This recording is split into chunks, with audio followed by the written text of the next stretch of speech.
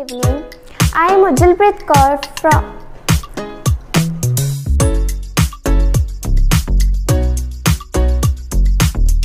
It will turn into a sphere.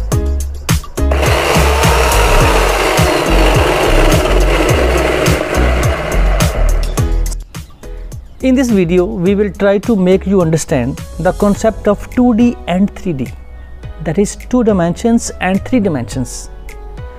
In earlier classes, we oftenly use a piece of paper like this rectangular paper for 2D objects and a book for 3D objects. Now, the question arises in my mind really a piece of paper is two dimensions? Get confused? No problem. Let's try to understand 2D and 3D objects. Good evening, my friends. Vinod is here, and you are watching my YouTube channel Explore the Practical. Sorry, one thing is remaining. Please do subscribe. Thank you. Wishing you an aesthetic evening. I am Ujjalpreet Kaur from 9th class studying in Akal Academy Tibbar, Gurdaspur and today I am here with my model based on 2D and 3D object. So first let us talk about what really are 2D and 3D object. Those objects which have only two dimensions that is length and breadth are known as 2D object whereas the objects which have all the three dimensions length, breadth and height are known as 3D object. For example, here I have drawn a square and a rectangle on a piece of paper. It have only length and breadth, therefore it is a 2D object. Whereas this box will act as a cuboid and a 3D object because it have length, breadth and also height. Similarly, these coins are stacked on the top of each other and it makes a 3D object which is a cylinder. And here I am having these CDs which are stacked on the top of each other and it is also a cylinder. If I take out some of the CDs, so it's again a cylinder. If I take out more and more and at last I am just left with this one piece of CD. So now the question arises whether it is a cylinder or a circle. The answer is that it is still a cylinder because it has all the three dimensions length, breadth and height. Rather the height is very negligible but it is still present which make it a cylinder. If I draw this cylinder or you can say if I trace the boundaries of this cylinder on a piece of paper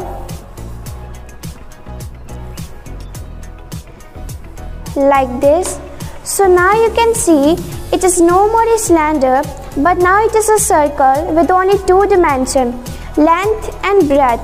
It does not have any height similarly here if I take these cards which are stacked on the top of each other and it makes a cuboid with a three dimension length, breadth and the height.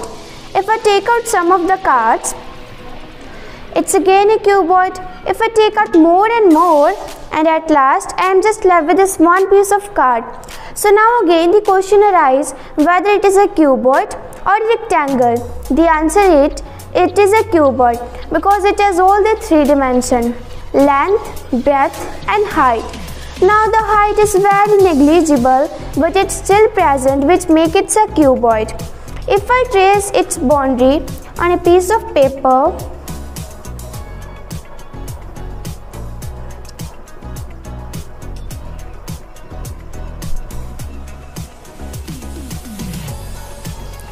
like this, so now it's no more a cuboid, it's now a rectangle with only two dimensions which is length and breadth. Similar example you can try, uh, similar example you can try in our day-to-day -day life. So now, so this was also a method by which we can convert 3D object into 2D object. So now let's try converting 2D object into 3D object. Here I am having few, uh, few shapes. Let's suppose it is a 2D object. Let's suppose it does not have any height. So for this, here we are having this piece of triangle and it is a 2D object. When a piece of 2D object is rotated on its axis, it will turn into a 3D object. Let's try this. So you can clearly see that the piece of triangle is now converted into a cone.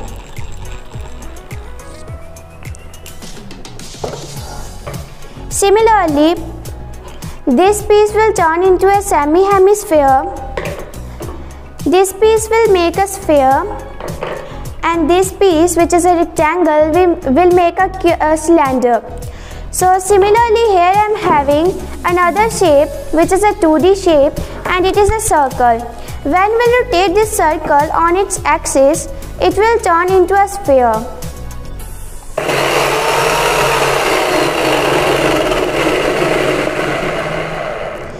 So now you must have clearly seen that how a piece of circle was converted into a sphere when it was rotated on its axis.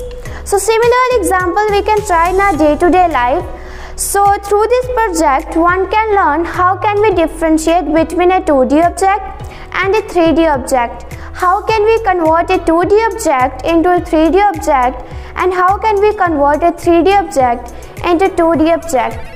So I hope many students will learn from this model and I would also like to express my special gratitude of thanks to my teachers and my parents for their support and for encouraging me. Thank you.